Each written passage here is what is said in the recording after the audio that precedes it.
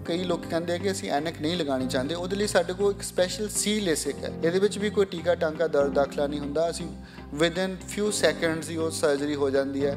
ਅਸੀਂ ਘੰਟੇ ਦੇ ਵਿੱਚ ਹੀ ਪੇਸ਼ੈਂਟ ਨੂੰ ਉਹਦੇ ਘਰ ਵਾਪਸ ਭੇਜ ਦਿੰਨੇ ਆ ਜਿਹੜਾ ਚਿੱਟਾ ਮੋਤੀਆ ਹੈ, ਇਹ ਕੋਈ ਬਿਮਾਰੀ ਨਹੀਂ ਹੁੰਦੀ। ਉਮਰ ਦੇ ਹਿਸਾਬ ਦੇ ਨਾਲ ਹਰ ਕਿਸੇ ਦੇ ਜੋ ਚਿੱਟਾ ਮੋਤੀਆ ਹੈ, ਉਹ ਆਂਦਾ ਹੈ। ਇਹਦੇ ਵਿੱਚ ਸਰਜਰੀ ਹੀ ਇਲਾਜ ਹੈ ਆਪਰੇਸ਼ਨ ਹੀ ਇਲਾਜ ਹੈ। ਕਿਉਂਕਿ ਜੋ ਚਿੱਟਾ ਮੋਤੀਆ ਹੈ, ਜੇ ਅਸੀਂ ਅੱਖ ਦੇ ਵਿੱਚ ਜ਼ਿਆਦਾ ਰੱਖਦੇ ਹਾਂ, ਤਾਂ ਉਹਦੀਆਂ ਹੋਰ ਕੰਪਲਿਕੇਸ਼ਨ ਚਿੱਟਾ ਕਈ ਵਾਰੀ ਪੱਕ ਕੇ ਕਾਲਾ ਬਣਨ ਦੇ ਨਾਲ ਰੋਸ਼ਨੀ ਪਿੱਛੋਂ ਵੀ ਜਾ ਸਕਦੀ ਹੈ। ਅੱਜ ਜੋ ਅਸੀਂ ਪੰਜਾਬ ਦੇ ਵਿੱਚ ਫਸਟ ਟਾਈਮ ਲੈ ਕੇ ਆਏ ਹਾਂ, ਉਹ ਲੈ ਕੇ ਆਏ ਹਾਂ ਰੋਬੋਟਿਕ ਕੈਟਰੈਕਟ ਸਰਜਰੀ ਤਰੀਕੇ ਦੇ ਨਾਲ ਪਹਿਲਾਂ ਜੋ ਅੱਖਾਂ ਦੇ ਵਿੱਚ ਜਦੋਂ ਅਸੀਂ ਆਪਰੇਸ਼ਨ ਕਰਦੇ ਸੀ, ਤੇ ਬਲੇਡ ਦੇ ਨਾਲ ਚੀਰਾ ਦਿੰਦੇ ਸੀ। ਇਹਦੇ ਨਾਲ ਉਹ ਲੇਜ਼ਰ ਦੇ ਨਾਲ ਹੀ ਚੀਰਾ ਹੁੰਦਾ ਹੈ। ਔਰ ਪੇਸ਼ੈਂਟ ਨੂੰ ਪਤਾ ਵੀ ਨਹੀਂ ਲੱਗਦਾ, ਨਾ ਟੀਕਾ, ਨਾ ਟਾਂਕਾ, ਨਾ ਦਰਦ, ਨਾ ਦਾਖਲਾ।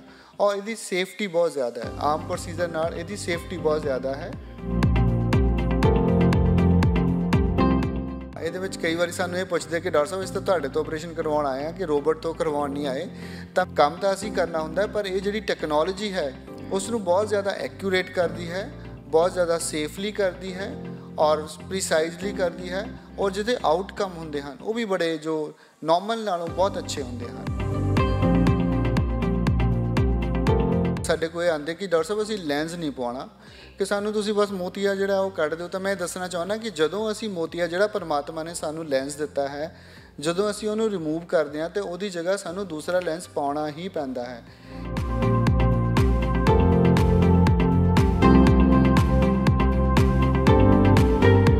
ਸਤਿ ਸ਼੍ਰੀ ਅਕਾਲ ਦਾ ਟੀਵੀ ਐਨਆਰਆਈ ਦੇਖ ਰਹੇ ਸਾਰੇ ਦਰਸ਼ਕਾਂ ਦਾ। ਮੈਂ ਮਨਪ੍ਰੀਤ ਕੌਰ, ਸਵਾਗਤ ਕਰ ਰਹੀ ਹਾਂ। ਤਾਂ ਅੱਜ ਕੱਲ ਅੰਨੇਪਨ ਦਾ ਜਾਂ ਨਜ਼ਰ ਘਟਣ ਦਾ ਕਾਫੀ ਜ਼ਿਆਦਾ ਸਿਲਸਿਲਾ ਚੱਲ ਰਿਹਾ ਹੈ। ਲੋਕ ਕਾਫੀ ਜ਼ਿਆਦਾ ਪਰੇਸ਼ਾਨ ਹੋ ਚੁੱਕੇ ਨੇ। ਪਰ ਅੱਜ ਅਸੀਂ ਫਗਵਾੜਾ ਦੇ ਵਿੱਚ ਪਹੁੰਚੇ ਹੋਏ ਹਾਂ। ਸਪੈਸ਼ਲ ਡਾਕਟਰ ਸਾਹਿਬ ਦੇ ਕੋਲ ਪਹੁੰਚੇ ਹੋਏ ਹਾਂ, ਜਿਨ੍ਹਾਂ ਦਾ ਨਾਮ ਹੈ ਡਾਕਟਰ ਰਾਜਨ। ਤੇ ਅੱਜ ਉਹਨਾਂ ਦੀ ਚਰਚਾ ਪੰਜਾਬ ਦੇ ਵਿੱਚ ਹੀ ਨਹੀਂ, ਸਗੋਂ ਦੇਸ਼ਾਂ, ਵਿਦੇਸ਼ਾਂ ਦੇ ਵਿੱਚ ਵੀ ਹੋ ਰਹੀ ਹੈ। ਤਾਂ ਅੰਨੇਪਨ ਦੀ ਸਮੱਸਿਆ, ਨਜ਼ਰ ਘਟਣ ਦੀ ਸਮੱਸਿਆ ਤਾਂ ਹਰੇਕ ਨੂੰ ਆ ਰਹੀ ਹੈ। ਪਰ ਅੱਜ ਡਾਕਟਰ ਸਾਹਿਬ ਤੋਂ ਜਾਣਾਂਗੇ ਕਿ ਇਸ ਦਾ ਹੱਲ ਕੀ ਹੈ। ਤਾਂ ਪਹਿਲਾਂ ਤਾਂ ਤੁਹਾਡਾ ਬਹੁਤ-ਬਹੁਤ ਸਵਾਗਤ ਹੈ। ਸ਼ੁਕਰੀਆ ਧੰਨਵਾਦ। ਤਾਂ ਜਿਵੇਂ ਗੱਲ ਕੀਤੀ ਮੈਂ ਅੰਨੇਪਨ ਦੀ ਤੇ ਨਜ਼ਰ ਦਾ ਘਟਣਾ ਇਹਦਾ ਮੁੱਖ ਕਾਰਨ ਕੀ ਹੈ? ਨਜ਼ਰ ਦਾ ਘਟਣ ਦਾ ਜੋ ਮੁੱਖ ਕਾਰਨ ਹੈ ਉਹ 60 ਸਾਲ ਤੋਂ ਬਾਅਦ ਜਿਹੜਾ ਮੇਨ ਕਾਰਨ ਹੈ ਉਹ ਚਿੱਟਾ ਮੋਤੀਆ ਹੈ। ਕਿਉਂਕਿ ਚਿੱਟਾ ਮੋਤੀਆ ਜੋ ਹੈ ਉਹ 60 ਸਾਲ ਤੋਂ ਬਾਅਦ ਸ਼ੁਰੂ ਹੋ ਜਾਂਦਾ ਹੈ। ਔਰ ਇੱਥੇ ਮੈਂ ਇਹ ਵੀ ਦੱਸਣਾ ਚਾਹੁੰਦਾ ਕਿ ਜਿਹੜਾ ਚਿੱਟਾ ਮੋਤੀਆ ਹੈ ਇਹ ਕੋਈ ਬਿਮਾਰੀ ਨਹੀਂ ਹੁੰਦੀ। ਉਮਰ ਦੇ ਹਿਸਾਬ ਦੇ ਨਾਲ ਹਰ ਕਿਸੇ ਦੇ ਜੋ ਚਿੱਟਾ ਮੋਤੀਆ ਹੈ ਉਹ ਆਂਦਾ ਹੈ। ਕਿਉਂਕਿ ਪਰਮਾਤਮਾ ਨੇ ਸਾਡੀ ਅੱਖ ਦੇ ਵਿੱਚ ਲੈਂਸ ਦਿੱਤਾ ਹੁੰਦਾ ਹੈ। ਔਰ ਜੋ ਲੈਂਸ ਹੁੰਦਾ ਹੈ ਪਹਿਲਾਂ ਪਾਣੀ ਦੀ ਤਰ੍ਹਾਂ ਸਾਫ਼ ਹੁੰਦਾ ਹੈ। ਮੈਂ ਹਮੇਸ਼ਾ ਐਗਜ਼ਾਮਪਲ ਦਿੰਦਾ ਹੁੰਦਾ ਕਿ ਜਿੱਦਾਂ ਇੱਕ ਕੱਚ ਦਾ ਗਲਾਸ ਲੈ ਲਈ ਉਹਦੇ ਵਿੱਚ ਪਾਣੀ ਹੈ। ਅਸੀਂ ਉਹਦੇ ਵਿੱਚ ਦੀ ਦੇਖ ਸਕਦੇ ਹਾਂ। ਪਰ ਜਦੋਂ ਉਹਦੇ ਵਿੱਚ ਦੀ ਦੋ ਦੋ ਬੂੰਦਾਂ ਅਸੀਂ ਦੁੱਧ ਦੀਆਂ ਪਾ ਦਿੰਨੇ ਆ ਤਾਂ ਉਹ ਜਿਹੜਾ ਦਿਸਣਾ ਹੈ, ਉਹਦੀ ਜਿਹੜੀ ਟਰਾਂਸਪੇਰੈਂਸੀ ਹੈ, ਪਾਰਦਰਸ਼ਤਾ ਜੋ ਹੈ, ਉਹ ਖਤਮ ਹੋ ਜਾਂਦੀ ਹੈ। ਔਰ ਇਸ ਤਰ੍ਹਾਂ ਹੀ ਜੋ ਪ੍ਰਮਾਤਮਾ ਨੇ ਸਾਨੂੰ ਲੈਂਸ ਜਿਹੜਾ ਪਹਿਲਾਂ ਬਿਲਕੁਲ ਸਾਫ਼ ਹੁੰਦਾ ਸੀਗਾ, ਉਹ ਚਿੱਟਾ ਪੈ ਜਾਂਦਾ ਹੈ, ਤਾਂ ਉਹਨੂੰ ਅਸੀਂ ਚਿੱਟਾ ਮੋਤੀਆ ਕਹਿ ਦਿੰਨੇ ਆ ਔਰ ਚਿੱਟਾ ਮੋਤੀਆ ਜੋ ਹੁੰਦਾ ਹੈ ਇਹਨੂੰ ਕੱਢਣਾ ਟਾਈਮ ਸਿਰ ਬਹੁਤ ਜ਼ਰੂਰੀ ਹੁੰਦਾ ਹੈ ਕਿਉਂਕਿ ਜੇ ਟਾਈਮ ਸਿਰ ਅਸੀਂ ਇਹਨੂੰ ਨਹੀਂ ਕੱਢਦੇ ਤਾਂ ਫਿਰ ਬਹੁਤ ਤਰ੍ਹਾਂ ਦੀਆਂ ਕੰਪਲਿਕੇਸ਼ਨ ਜੋ ਹਨ ਉਹ ਆ ਜਾਂਦੀਆਂ ਹਨ। ਸੋ ਇਹ ਬਹੁਤ ਜ਼ਰੂਰੀ ਹੈ ਕਿ ਜਿਹੜਾ ਚਿੱਟਾ ਮੋਤੀਆ ਇਹਦਾ ਜੋ ਇਲਾਜ ਹੈ ਇਹ ਸਹੀ ਟਾਈਮ ਤੇ ਹੋ ਜਾਏ। ਜੀ ਤਾਂ ਚਿੱਟੇ ਮੋਤੀਏ ਦੀ ਤੁਸੀਂ ਗੱਲ ਕੀਤੀ ਹੈ ਤਾਂ ਚਿੱਟੇ ਮੋਤੀਏ ਦਾ ਇਲਾਜ ਕੀ ਹੈ? ਹਾਂ ਇਹਦੇ ਵਿੱਚ ਚਿੱਟਾ ਮੋਤੀਆ ਯਾਨੀ ਕੈਟਰੈਕਟ ਜਿਹਨੂੰ ਅਸੀਂ ਕਹਿ ਦਿੰਦੇ ਹਾਂ ਕੈਟਰੈਕਟ ਕੈਟਰੈਕਟ ਸਰਜਰੀਜ਼ ਜਿਹੜੀ ਹੈਗੀ ਆ ਉਹ ਇਲਾਜ ਹੈ। ਇਹਦੇ ਵਿੱਚ ਸਰਜਰੀ ਹੀ ਇਲਾਜ ਹੈ ਆਪਰੇਸ਼ਨ ਹੀ ਇਲਾਜ ਹੈ। ਕਿਉਂਕਿ ਜੋ ਚਿੱਟਾ ਮੋਤੀਆ ਹੈ, ਜੇ ਅਸੀਂ ਅੱਖ ਦੇ ਵਿੱਚ ਜ਼ਿਆਦਾ ਰੱਖਦੇ ਹਾਂ, ਤਾਂ ਉਹਦੀਆਂ ਹੋਰ ਕੰਪਲਿਕੇਸ਼ਨ ਚਿੱਟਾ ਕਈ ਵਾਰੀ ਪੱਕ ਕੇ ਕਾਲਾ ਬਣਨ ਦੇ ਨਾਲ ਰੋਸ਼ਨੀ ਪਿੱਛੋਂ ਵੀ ਜਾ ਸਕਦੀ ਆ। ਸੋ ਇਹ ਬਹੁਤ ਚੀਜ਼ ਇੰਪੋਰਟੈਂਟ ਹੈ ਕਿ ਇਹਦਾ ਇਲਾਜ ਜਿਹੜਾ ਹੈ ਟਾਈਮ ਸਿਰ ਹੋ ਜਾਏ। ਹੁਣ ਇਹਦਾ ਇਲਾਜ ਕੀ ਹੈ? ਅੱਜ ਜੋ ਅਸੀਂ ਪੰਜਾਬ ਦੇ ਵਿੱਚ ਫਸਟ ਟਾਈਮ ਲੈ ਕੇ ਆਏ ਹਾਂ, ਉਹ ਲੈ ਕੇ ਆਏ ਹਾਂ ਰੋਬੋਟਿਕ ਕੈਟਰੈਕਟ ਸਰਜਰੀ ਰੋਬੋਟਿਕ ਦਾ ਮਤਲਬ ਕੀ ਹੈ? ਇੱਕ ਖਾਸ ਤਰ੍ਹਾਂ ਦੀ ਲੇਜ਼ਰਸ ਹੁੰਦੀਆਂ ਹਨ। ਜਿਸ ਤਰੀਕੇ ਦੇ ਨਾਲ ਪਹਿਲਾਂ ਜੋ ਅੱਖਾਂ ਦੇ ਵਿੱਚ ਜਦੋਂ ਅਸੀਂ ਆਪਰੇਸ਼ਨ ਕਰਦੇ ਸੀ ਤੇ ਬਲੇਡ ਦੇ ਨਾਲ ਚੀਰਾ ਦਿੰਦੇ ਸੀ। ਇਹਦੇ ਨਾਲ ਉਹ ਲੇਜ਼ਰ ਦੇ ਨਾਲ ਹੀ ਚੀਰਾ ਹੁੰਦਾ ਹੈ, ਜੋ ਲੇਜ਼ਰ ਦੇ ਨਾਲ ਹੀ ਜੋ ਇਨਸੀਜ਼ਨ ਹੁੰਦਾ ਹੈ। ਔਰ ਪੇਸ਼ੈਂਟ ਨੂੰ ਪਤਾ ਵੀ ਨਹੀਂ ਲੱਗਦਾ, ਨਾ ਟੀਕਾ, ਨਾ ਟਾਂਕਾ, ਨਾ ਦਰਦ, ਨਾ ਦਾਖਲਾ। ਔਰ ਇਹਦੀ ਸੇਫਟੀ ਬਹੁਤ ਜ਼ਿਆਦਾ ਹੈ। ਆਮ ਪ੍ਰੋਸੀਜਰ ਨਾਲ ਇਹਦੀ ਸੇਫਟੀ ਬਹੁਤ ਜ਼ਿਆਦਾ ਹੈ। ਔਰ ਸੇਫਟੀ ਦੇ ਨਾਲ ਨਾਲ ਇਹਦੀ ਜੋ ਰਿਕਵਰੀ ਹੈ ਪੇਸ਼ੈਂਟ ਬਹੁਤ ਜਲਦੀ ਰਿਕਵਰ ਕਰ ਜਾਂਦਾ ਹੈ ਔਰ ਆਪਣੇ ਕੰਮ ਦੇ ਉੱਤੇ ਵਾਪਸ ਚਲੇ ਜਾਂਦਾ ਹੈ। ਸੋ ਇਹ ਜੋ ਰੋਬੋਟਿਕ ਕੈਟਰੈਕਟ ਸਰਜਰੀ ਹੈ, ਪੰਜਾਬ ਦੇ ਵਿੱਚ ਅਸੀਂ ਜੋ ਪਹਿਲੀ ਵਾਰ ਲੈ ਕੇ ਆਏ ਹਾਂ, ਇਹਦੇ ਬਹੁਤ ਜ਼ਿਆਦਾ ਫਾਇਦੇ ਹਨ। ਔਰ ਨਾਰਮਲ ਸਰਜਰੀ ਜੋ ਫੇਕੋ ਇਮਲਸੀਫਿਕੇਸ਼ਨ ਹੈ, ਉਹਦੇ ਨਾਲੋਂ ਇਹਦਾ ਇਹੀ ਫਾਇਦਾ ਹੈ ਕਿ ਇਹਦੀ ਰਿਕਵਰੀ ਫਾਸਟ ਹੈ ਸੇਫਟੀ ਜ਼ਿਆਦਾ ਹੈ ਬਲੇਡ ਨਹੀਂ ਲੱਗਦਾ ਔਰ ਪੇਸ਼ੈਂਟ ਦੀ ਕਨਵੀਨੀਅੰਸ ਬਹੁਤ ਜ਼ਿਆਦਾ ਹੈ ਔਰ ਕੁਝ ਟਾਈਮ ਦੇ ਵਿੱਚ ਹੀ ਪੇਸ਼ੈਂਟ ਆਪਣਾ ਜੋ ਹੈ ਆਪਣੇ ਕੰਮ ਤੇ ਵਾਪਸ ਚਲੇ ਜਾਂਦਾ ਹੈ। ਜੀ। ਤਾਂ ਜਿਵੇਂ ਤੁਸੀਂ ਗੱਲ ਕੀਤੀ ਜਦੋਂ ਅਸੀਂ ਵੀ ਹਸਪੀਟਲ ਦੇ ਅੰਦਰ ਦਾਖਲ ਹੋਏ ਤਾਂ ਹਰ ਬੰਨੇ ਪੋਸਟਰ ਲੱਗੇ ਹੋਏ ਸੀਗੇ ਕਿ ਰੋਬੋ ਲੇਜ਼ਰ ਦੇ ਨਾਲ ਜਿਹੜਾ ਆ ਉਹ ਚਿੱਟੇ ਮੋਤੀ ਦਾ ਆਪਰੇਸ਼ਨ ਕੀਤਾ ਜਾਂਦਾ ਹੈ। ਪਰ ਲੋਕ ਇੱਥੇ ਕਨਫਿਊਜ਼ ਜ਼ਰੂਰ ਹੋ ਜਾਂਦੇ ਨੇ ਕਿ ਰੋਬੋਟ ਜਿਹੜਾ ਹੈ ਉਹ ਆਪਰੇਸ਼ਨ ਕਰਦਾ ਹੈ। ਹਾਂ, ਇਹਦੇ ਵਿੱਚ ਕਈ ਵਾਰੀ ਸਾਨੂੰ ਇਹ ਪੁੱਛਦੇ ਕਿ ਡਾਕਟਰ ਸਾਹਿਬ, ਇਸ ਤਾਂ ਤੁਹਾਡੇ ਤੋਂ ਆਪਰੇਸ਼ਨ ਕਰਵਾਉਣ ਆਏ ਆ ਕਿ ਰੋਬੋਟ ਤੋਂ ਕਰਵਾਉਣ ਨਹੀਂ ਆਏ। ਤਾਂ ਮੈਂ ਇਹ ਦੱਸਦਾ ਕਿ ਆਪਰੇਸ਼ਨ ਜੋ ਸਰਜਨ ਨਹੀਂ ਕਰਨਾ ਹੁੰਦਾ ਹੈ, ਪਰ ਕਈ ਸਟੈਪਸ ਇਸ ਤਰ੍ਹਾਂ ਦੇ ਹੁੰਦੇ ਹਨ, ਜਿਨ੍ਹਾਂ ਦੇ ਵਿੱਚ ਕੰਪਲਿਕੇਸ਼ਨ ਦੇ ਚਾਂਸਸ ਹੁੰਦੇ ਹਨ। ਨਾਰਮਲੀ ਕਈਆਂ ਦੇ ਵਿੱਚ ਕੁਝ ਨਾ ਕੁਝ ਪ੍ਰੋਬਲਮ ਆਉਣ ਦੇ ਚਾਂਸਸ ਹੁੰਦੇ ਹਨ। ਜਿੱਦਾਂ ਨਾਰਮਲੀ ਅਸੀਂ ਬਲੇਡ ਲਗਾਉਂਦੇ ਹਾਂ ਬਟ ਜੋ ਲੇਜ਼ਰ ਹੁੰਦੀ ਹੈ, ਇਹਦੇ ਜੋ ਆਰਟੀਫੀਸ਼ੀਅਲ ਇੰਟੈਲੀਜੈਂਸ ਗਾਈਡਡ ਮਸ਼ੀਨਸ ਹੁੰਦੀਆਂ ਹਨ, ਜੋ ਡਾਟਾ ਫੀਡ ਕਰ ਦਿੰਦਾ ਹੈ ਤਾਂ ਉਹਨਾਂ ਹੀ ਜੋ ਉਹ ਸਾਰਾ ਕੁਝ ਹੁੰਦਾ ਹੈ। ਸੋ ਇਹ ਜਿਹੜੀਆਂ ਜੋ ਮੀਨਸ ਕਿ ਕੰਮ ਤਾਂ ਅਸੀਂ ਕਰਨਾ ਹੁੰਦਾ ਪਰ ਇਹ ਜਿਹੜੀ ਟੈਕਨੋਲੋਜੀ ਹੈ ਉਸ ਨੂੰ ਬਹੁਤ ਜ਼ਿਆਦਾ ਐਕਿਊਰੇਟ ਕਰਦੀ ਹੈ, ਬਹੁਤ ਜ਼ਿਆਦਾ ਸੇਫਲੀ ਕਰਦੀ ਹੈ ਔਰ ਪ੍ਰੀਸਾਈਜ਼ਲੀ ਕਰਦੀ ਹੈ ਔਰ ਜਿਹਦੇ ਆਊਟਕਮ ਹੁੰਦੇ ਹਨ, ਉਹ ਵੀ ਬੜੇ ਜੋ ਨਾਰਮਲ ਨਾਲੋਂ ਬਹੁਤ ਅੱਛੇ ਹੁੰਦੇ ਹਨ। ਇਹਦਾ ਇਹ ਮਤਲਬ ਹੈ ਕਿ ਰੋਬੋਟਿਕ ਜੋ ਹੈ, ਇਹ ਜੋ ਕੰਮ ਹੈ, ਉਹਨੂੰ ਈਜ਼ੀ ਬਣਾਉਂਦੀ ਹੈ ਔਰ ਪੇਸ਼ੈਂਟ ਲਈ ਸੇਫਟੀ ਔਰ ਰਿਕਵਰੀ ਜਿਹੜੀ ਹੈ, ਉਹ ਲਈ ਫਾਸਟ ਬਣਾਉਂਦੀ ਹੈ। ਇਹਦਾ ਮਤਲਬ ਇਹ ਨਹੀਂ ਹੈ ਕਿ ਜੋ ਨਾਰਮਲ ਅਸੀਂ ਕੋਈ ਫੇਕੋ ਕਰਦੇ ਹਾਂ, ਕਿ ਉਹਦੇ ਵਿੱਚ ਕੋਈ ਪ੍ਰੋਬਲਮ ਹੈ ਬਟ ਇਹ ਜੋ ਹੈ, ਉਸ ਨਾਲੋਂ ਅਗਲਾ ਸਟੈਪ ਹੈ, ਕਿਉਂਕਿ ਹਰ ਕੋਈ ਚੀਜ਼ ਚੇਂਜ ਹੋ ਰਹੀ ਹੈ। ਪਹਿਲਾਂ ਸਾਡੇ ਕੋਲ ਟਾਈਪਰਾਈਟਰ ਕਰਦੇ ਹੁੰਦੇ ਸੀ, ਹੁਣ ਸਾਡੇ ਕੋਲ ਕੰਪਿਊਟਰ ਦਾ ਯੁੱਗ ਹੈ, ਹੁਣ ਅੱਗੇ ਤੋਂ ਅੱਗੇ ਹੋਰ ਅਸੀਂ ਜਸਟ ਬੋਲਦੇ ਆ ਤਾਂ ਉਹ ਟਾਈਪ ਹੋ ਜਾਂਦਾ। ਸੋ ਇਸ ਤਰ੍ਹਾਂ ਦੀ ਐਡਵਾਂਸਮੈਂਟ ਜੋ ਟੈਕਨੋਲੋਜੀ ਚ ਆਈ ਜਾਂਦੀ ਹੈ ਔਰ ਇਹਦਾ ਅਲਟੀਮੇਟ ਜੋ ਫਾਇਦਾ ਹੈ, ਉਹ ਮਰੀਜ਼ਾਂ ਨੂੰ ਹੀ ਹੁੰਦਾ ਹੈ। ਤਾਂ ਇਹ ਵੀ ਜ਼ਰੂਰ ਦਰਸ਼ਕਾਂ ਨੂੰ ਦੱਸਿਆ ਜਾਵੇ ਮਰੀਜ਼ਾਂ ਨੂੰ ਕਿ ਲੈਂਸ ਕਿੰਨੇ ਟਾਈਪ ਦੇ ਹੁੰਦੇ, ਕਿਉਂਕਿ ਡਾਕਟਰ ਦੇ ਵੱਲੋਂ ਦੱਸ ਤੇ ਦਿੱਤਾ ਜਾਂਦਾ ਵੀ ਤੁਸੀਂ ਲੈਂਸ ਪਵਾ ਲਓ, ਪਰ ਅਸਲ 'ਚ ਲੈਂਸ ਕਿੰਨੇ ਟਾਈਪ ਦੇ ਹੁੰਦੇ ਹਾਂ, ਇਹਦੇ 'ਚ ਬਹੁਤ ਇੰਪੋਰਟੈਂਟ ਚੀਜ਼ ਹੈ, ਇਹ ਜਿਹੜਾ ਤੁਸੀਂ ਕੁਐਸਚਨ ਪੁੱਛਿਆ ਕਿਉਂਕਿ ਜਿਹੜਾ ਪਰਮਾਤਮਾ ਨੇ ਸਾਨੂੰ ਜਿਹੜਾ ਕਈ ਸਾਡੇ ਕੋਲ ਆਂਦੇ ਕਿ ਡਾਕਟਰ ਸਾਹਿਬ ਅਸੀਂ ਲੈਂਸ ਨਹੀਂ ਪਾਉਣਾ ਕਿ ਸਾਨੂੰ ਤੁਸੀਂ ਬਸ ਮੋਤੀਆ ਜਿਹੜਾ ਉਹ ਕੱਢ ਦਿਓ, ਤਾਂ ਮੈਂ ਦੱਸਣਾ ਚਾਹੁੰਦਾ ਕਿ ਜਦੋਂ ਅਸੀਂ ਮੋਤੀਆ ਜਿਹੜਾ ਪਰਮਾਤਮਾ ਨੇ ਸਾਨੂੰ ਲੈਂਸ ਦਿੱਤਾ ਹੈ, ਜਦੋਂ ਅਸੀਂ ਉਹਨੂੰ ਰਿਮੂਵ ਕਰਦੇ ਹਾਂ, ਤੇ ਉਹਦੀ ਜਗ੍ਹਾ ਸਾਨੂੰ ਦੂਸਰਾ ਲੈਂਸ ਪਾਉਣਾ ਹੀ ਪੈਂਦਾ ਹੈ। ਇਹ ਨਹੀਂ ਹੈ ਕਿ ਅਸੀਂ ਦੁਬਾਰਾ ਉਹਨੂੰ ਜੋ ਹੈ, ਦੁਬਾਰਾ ਫੇਰ ਕਦੀ ਪਵਾ ਲਈਏ, ਇੱਕ ਵਾਰੀ ਪਾ ਕੇ ਕਈ ਇਦਾਂ ਕਹਿੰਦੇ ਆ ਜੀ, ਹੁਣ ਤੁਸੀਂ ਸਾਡੇ ਦੂਸਰਾ ਪਾ ਸਿੰਪਲ ਜਿਹਾ ਲੈਂਸ ਪਾ ਦਿਓ ਬਾਅਦ 'ਚੋਂ ਅਸੀਂ ਵਧੀਆ ਪਵਾ ਲਾਂਗੇ। ਜਿਹੜਾ ਇੱਕ ਵਾਰੀ ਲੈਂਸ ਜੋ ਪਾਉਣਾ ਸਾਨੂੰ ਅਸੀਂ ਪਾਉਣਾ ਪਾਈਦਾ ਹੈ, ਉਹ ਦੁਬਾਰਾ ਚੇਂਜ ਨਹੀਂ ਹੁੰਦਾ। ਸਾਰੀ ਲਾਈਫ ਅਸੀਂ ਉਸ ਲੈਂਸ ਦੇ ਨਾਲ ਹੀ ਦੇਖਦੇ ਹਾਂ। ਸੋ ਇੱਥੇ ਮੈਂ ਇਹ ਦੱਸਣਾ ਚਾਹੁੰਦਾ ਕਿ ਜਿਹੜਾ ਲੈਂਸ ਪਾਉਣ ਦਾ ਜਿਹੜਾ ਤੁਸੀਂ ਡਿਸੀਜਨ ਹੈ, ਉਹ ਬੜਾ ਸੋਚ ਸਮਝ ਕੇ ਲੈਣਾ ਚਾਹੀਦਾ ਹੈ। ਕਿਉਂਕਿ ਅੱਜ ਕੱਲ ਬਹੁਤ ਐਡਵਾਂਸ ਲੈਂਸ ਆ ਗਏ ਹਨ। ਲੈਂਸਸ ਇਸ ਤਰ੍ਹਾਂ ਦੇ ਹਨ, ਕਈ ਲੈਂਸਸ ਇਸ ਤਰ੍ਹਾਂ ਦੇ ਹਨ ਕਿ ਨਾ ਦੂਰ ਦੀ ਐਨਕ ਦੀ ਲੋੜ ਪੈਂਦੀ ਹੈ, ਨਾ ਨਾ ਵਿਚਕਾਰ ਦੇ ਕੰਪਿਊਟਰ ਤੇ ਕੰਮ ਕਰਨਾ ਕੋਈ ਐਨਕ ਦੀ ਜ਼ਰੂਰਤ ਨਹੀਂ ਪੈਂਦੀ ਔਰ ਨਾ ਨਜ਼ਦੀਕ ਦੀ ਸੂਈ ਧਾਗਾ ਵੀ ਪਾ ਸਕਦੇ ਹਾਂ। ਔਰ ਕਈ ਪੇਸ਼ੈਂਟ ਇਸ ਤਰ੍ਹਾਂ ਕਹਿੰਦੇ ਕਿ ਮਤਲਬ ਕਿ ਸਾਨੂੰ ਪਹਿਲਾਂ ਕਿਉਂ ਨਹੀਂ ਅਸੀਂ ਇਦਾਂ ਦੇ ਲੈਂਸ ਪਾਏ? ਕਿਉਂਕਿ ਇਹ ਨਵੇਂ ਲੈਂਸ ਆਏ ਹਨ। ਕਿਉਂਕਿ ਜਿਹੜੇ ਪੁਰਾਣੇ ਲੈਂਸ ਪਾਏ ਹੁੰਦੇ ਸੀ, ਉਹਨਾਂ ਨੂੰ ਕਿਸੇ ਦਾ ਫੋਨ ਵੀ ਆਂਦਾ ਹੈ ਤਾਂ ਪਹਿਲਾਂ ਐਨਕ ਲਗਾ ਕੇ ਦੇਖਦੇ ਆ। ਉਹਨਾਂ ਨੂੰ ਬਾਰ-ਬਾਰ ਫਿਰ ਐਨਕ ਜੋ ਹੈ ਉਹ ਲਗਾਉਣੀ ਪੈਂਦੀ ਹੈ। ਪਰ ਅੱਜ ਕੱਲ ਜੋ ਨਵੇਂ ਲੈਂਸ ਆ ਗਏ ਹਨ, ਉਹਦੇ ਵਿੱਚ ਅਸੀਂ ਪੇਸ਼ੈਂਟ ਨੂੰ ਜੋ ਐਨਕ ਹੈ ਉਸ ਤੋਂ, ਆਪਰੇਸ਼ਨ ਤੋਂ ਬਾਅਦ ਵੀ ਅਸੀਂ ਕਹੀਦਾ ਕਿ ਤੁਹਾਨੂੰ ਐਨਕ ਦੀ ਹੈ, ਜ਼ਰੂਰਤ ਜੋ ਹੈ ਉਹ ਨਹੀਂ ਹੈ। ਬਸ ਇਹਦੇ ਵਿੱਚ ਇਹੀ ਇੰਪੋਰਟੈਂਟ ਹੈ ਕਿ ਜਦੋਂ ਵੀ ਤੁਸੀਂ ਲੈਂਸ ਪਾਉਣ ਜਾਓ, ਤਾਂ ਇਹਨੂੰ ਬਹੁਤ ਜਲਦੀ ਵਾਲਾ ਨਾ ਕਿ ਫਟਾਫਟ ਡਿਸੀਜਨ ਲੈ ਲਓ ਕਿ ਇਹਨੂੰ ਪ੍ਰੋਪਰ ਜੋ ਤੁਹਾਡੇ ਸਰਜਨ ਹੈ, ਜਿਸ ਨੇ ਤੁਹਾਡੇ ਲੈਂਸ ਪਾਉਣਾ ਹੈ ਉਹਦੇ ਨਾਲ ਬੈਠ ਕੇ ਆਪਣਾ ਲਾਈਫ ਸਟਾਈਲ ਥੋੜਾ ਡਿਸਕਸ਼ਨ ਕਰੋ ਕਿ ਮੈਂ ਲਾਈਟ ਮੇਰੀ ਨਾਈਟ ਨੂੰ ਇਸ ਤਰ੍ਹਾਂ ਅਸੀਂ ਨਾਈਟ ਨੂੰ ਡਰਾਈਵਿੰਗ ਕਰਦੇ ਹਾਂ ਅਸੀਂ ਲਾਈਟਾਂ ਵਗੈਰਾ 'ਚ ਕੰਮ ਕਰਦੇ ਹਾਂ ਜਾਂ ਸਾਨੂੰ ਨੇੜੇ ਦਾ ਜ਼ਿਆਦਾ ਕੰਮ ਹੈ ਅਸੀਂ ਅੰਦਰ ਹੀ ਰਹਿੰਦੇ ਹਾਂ। ਸੋ ਇਹ ਸਾਰੀਆਂ ਗੱਲਾਂ ਜ਼ਰੂਰ ਡਿਸਕਸ ਕਰਨਾ। ਚਾਹੀਦਾ ਹੈ ਤਾਂ ਕਿ ਜੋ ਸਰਜਨ ਹੈ ਉਹ ਤੁਹਾਨੂੰ ਦੱਸੇ ਕਿ ਤੁਹਾਡੇ ਲਈ ਜੋ ਬੈਸਟ ਲੈਂਸਸ ਉਹ ਕਿਹੜੇ ਹਨ। ਸੋ ਇਹ ਬੜੀ ਇੰਪੋਰਟੈਂਟ ਚੀਜ਼ ਹੈ ਕਿ ਜਿਹੜਾ ਇੱਕ ਵਾਰੀ ਲੈਂਸ ਪੈ ਗਿਆ ਪਰਮਾਨੈਂਟਲੀ ਉਹੀ ਸਾਡੀ ਅੱਖ ਦੇ ਵਿੱਚ ਰਹੇਗਾ। ਤਾਂ ਜਿਵੇਂ ਰਾਤ ਦੀ ਡਰਾਈਵਿੰਗ ਦੀ ਗੱਲ ਕੀਤੀ ਹੈ ਕਿ ਰਾਤ ਨੂੰ ਲੋਕ ਡਰਾਈਵ ਕਰਦੇ ਨੇ ਤਾਂ ਉਹਨਾਂ ਦੇ ਲਈ ਕਿਹੜਾ ਲੈਂਸ ਸਭ ਤੋਂ ਬੈਟਰ ਹੈ? ਕਈ ਵਾਰੀ ਕਈ ਲੋਕੀ ਲੈਂਸ ਟ੍ਰਾਈਫੋਕਲ ਲੈਂਸਸ ਰਾਤ ਨੂੰ ਡਰਾਈਵਿੰਗ ਕਰਨ ਵੇਲੇ ਉਹ ਪਵਾ ਲੈਂਦੇ ਹਨ ਤਾਂ ਉਹਨਾਂ ਨੂੰ ਬੜੀ ਦਿੱਕਤ ਆਉਂਦੀ ਹੈ ਕਿਉਂਕਿ ਉਹਦੇ ਵਿੱਚ ਲਾਈਟਾਂ ਫੈਲਦੀਆਂ ਹਨ। ਸੋ ਇਸ ਕਰਕੇ ਮੈਂ ਬਾਰ-ਬਾਰ ਇਹੀ ਕਹਿਣਾ ਕਿ ਤੁਸੀਂ ਜਿਹੜਾ ਲੈਂਸ ਪਾਉਣਾ ਹੈ ਉਹਦੇ ਵਿੱਚ ਸਰਜਨ ਦੀ ਡਾਕਟਰ ਦੇ ਨਾਲ ਜ਼ਰੂਰ 5-7 10 ਮਿੰਟ ਬੈਠ ਕੇ ਆਪਣੀਆਂ ਸਾਰੀਆਂ ਕਿ ਤੁਸੀਂ ਕਿਸ ਤਰ੍ਹਾਂ ਦਾ ਤੁਹਾਡਾ ਲਾਈਫ ਸਟਾਈਲ ਹੈ? ਤੁਸੀਂ ਕਿੰਨੇ ਵਜੇ ਆਫਿਸ ਜਾਂਦੇ ਹੋ? ਕਿੰਨੇ ਵਜੇ ਤੁਸੀਂ ਬੱਚਿਆਂ ਨੂੰ? ਹੁਣ ਜਿੱਦਾਂ ਬਾਹਰਲੇ ਮੁਲਕ ਹਨ ਇੰਗਲੈਂਡ ਵਗੈਰਾ, ਉੱਥੇ ਲਾਈਟਾਂ ਬਹੁਤ ਜਲਦੀ ਸ਼ੁਰੂ ਹੋ ਜਾਂਦੀਆਂ।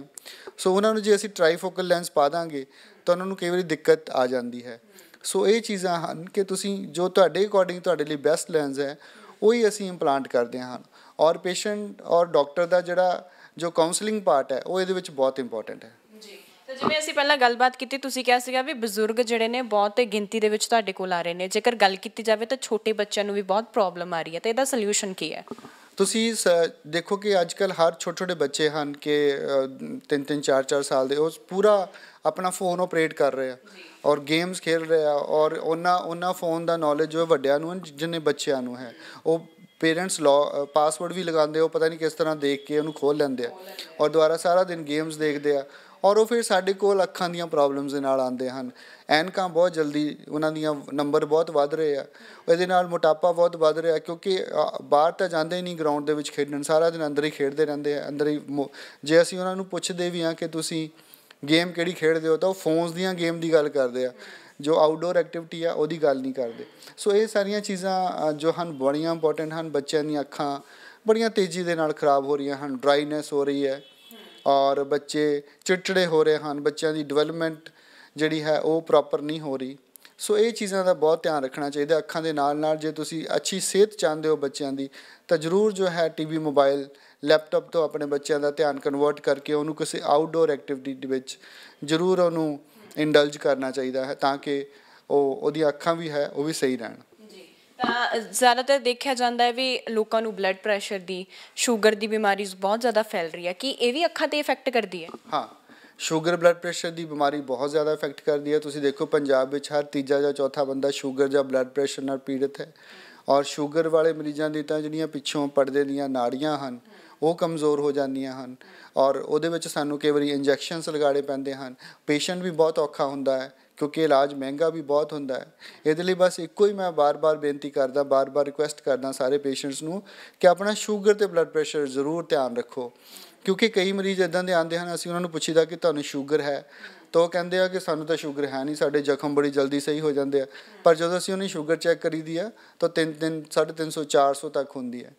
ਤਾਂ ਉਹ ਉਹਨਾਂ ਦੇ ਮਨ 'ਚ ਹੁੰਦਾ ਹੀ ਨਹੀਂ ਕਦੀ ਕਿ ਆਪਣੀ ਇੰਨੀ ਜ਼ਿਆਦਾ ਅਣਗਹਿਲੀ ਵਰਤਦੇ ਆ ਔਰ ਖਾਣ ਪੀਣ ਦਾ ਵੀ ਪੂਰਾ ਅੱਜ ਜਿੱਦਾਂ ਸਾਡੇ ਫੈਸਟੀਵਲ ਇਦਾਂ ਦੇ ਹੁਣ ਇਸ ਤਰ੍ਹਾਂ ਦੇ ਚੱਲ ਰਿਹਾ ਕਿ ਤਿਉਹਾਰ ਇਸ ਤਰ੍ਹਾਂ ਦੇ ਆਉਂਦੇ ਹਨ ਔਰ ਪੂਰਾ ਕੋਈ ਪਰਹੇਜ਼ ਨਹੀਂ। ਸੋ ਇਹੀ ਮੇਰਾ ਹੈ ਕਿ ਤੁਸੀਂ ਇਹ ਪਰਹੇਜ਼ ਜ਼ਰੂਰ ਕਰੋ, ਸ਼ੂਗਰ ਬਲੱਡ ਪ੍ਰੈਸ਼ਰ ਨੂੰ ਜ਼ਰੂਰ ਟਾਈਮ ਸਿਰ ਚੈੱਕ ਕਰਵਾਓ। ਜੇ ਔਰ ਵਧੇ ਆ ਇਹਦਾ ਅੱਛਾ ਇਲਾਜ ਕਰਵਾਓ, ਤਾਂ ਕਿ ਇਹ ਤੁਹਾਡੀਆਂ ਅੱਖਾਂ ਦੀਆਂ ਜਿਹੜੀਆਂ ਨਾੜੀਆਂ ਹੈ, ਉਹਦੇ ਵਿੱਚ ਦੀ ਬਲੱਡ ਜਿਹੜਾ ਉਹ ਲੀਕ ਨਾ ਹੋਵੇ। ਕਈ ਵਾਰੀ ਤਾਂ ਸ਼ੂਗਰ ਬਲੱਡ ਪ੍ਰੈਸ਼ਰ ਜਿਹੜੇ ਪੇਸ਼ੈਂਟ ਹੈ, ਉਹ ਬਿਲਕੁਲ ਬਿਲਕੁਲ ਟੋਟਲ ਲਾਸ ਆਫ ਵਿਜ਼ਨ ਦੇ ਨਾਲ ਆਉਂਦੇ ਕਿ ਨਜ਼ਰ ਇੱਕਦਮ ਘਟ ਗਈ। ਸੋ ਇਹ ਚੀਜ਼ਾਂ ਜਿਹੜੀਆਂ ਹਨ, ਇਹਨਾਂ ਨੂੰ ਜ਼ਰੂਰ ਧਿਆਨ ਦੇ ਵਿੱਚ ਰੱਖਣਾ ਚਾਹੀਦਾ ਹੈ। ਸ਼ੂਗਰ ਬਲੱਡ ਪ੍ਰੈਸ਼ਰ ਨਿਯਮਤ ਟਾਈਮ ਤੇ ਚੈੱਕ ਕਰਾ ਕੇ ਜੋ ਵੀ ਗੋਲੀ ਜਾਂ ਦਵਾਈ ਜਾਂ ਟੀਕਾ ਡਾਕਟਰ ਨੇ ਦੱਸਿਆ ਹੈ, ਉਹ ਜ਼ਰੂਰ ਲਗਵਾਉਣਾ ਚਾਹੀਦਾ ਹੈ। ਨਹੀਂ ਤਾਂ ਜੇ ਅੱਖਾਂ 'ਚ ਸ਼ੂਗਰ ਉਤਰ ਆਉਂਦੀ ਹੈ, ਉਹਦਾ ਇਲਾਜ ਬਹੁਤ ਲੰਬਾ ਵੀ ਹੈ ਥੋੜਾ ਮਹਿੰਗਾ ਵੀ ਹੈ ਤੇ ਕਸ਼ਟਦਾਇਕ ਵੀ ਹੈ। ਤਾਂ ਡਾਕਟਰ ਸਾਹਿਬ, ਇਹ ਵੀ ਦੇਖਣ ਨੂੰ ਮਿਲਦਾ ਹੈ ਕਿ ਜ਼ਿਆਦਾਤਰ ਲੋਕਾਂ ਨੂੰ ਐਨਕਾਂ ਬਹੁਤ ਜ਼ਿਆਦਾ ਲੱਗੀਆਂ ਹੋਈਆਂ ਨੇ। ਤਾਂ ਜੇਕਰ ਚੈੱਕਅਪ ਲਈ ਵੀ ਜਾਂਦੇ ਨੇ, ਤਾਂ ਡਾਕਟਰ ਜਿਹੜੇ ਨੇ, ਉਹਨਾਂ ਨੂੰ ਐਨਕਾਂ ਦਾ ਦੱਸ ਦਿੰਦੇ ਵੀ ਐਨਕਾਂ ਲਗਾ ਲਓ, ਪਰ ਉਹਦਾ ਇਲਾਜ ਕੀ ਹੈ? ਜਦੋਂ ਦੇਖੋ, ਐਨਕ ਜਿਹੜੀ ਹੈ, ਉਹ ਇੱਕ ਤਰ੍ਹਾਂ ਦੀ ਤੁਹਾਡੇ ਰਸਤੇ ਦੀ ਰੁਕਾਵਟ ਹੈ।